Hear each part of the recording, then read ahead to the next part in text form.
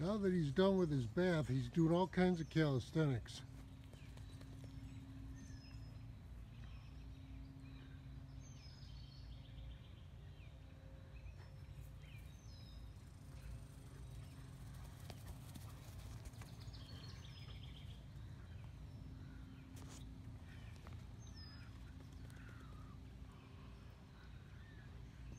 He's trying to share his bath with the rest of us.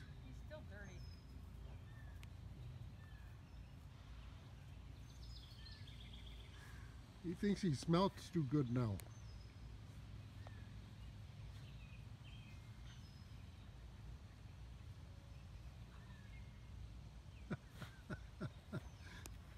he just needs to chase the ball a little bit.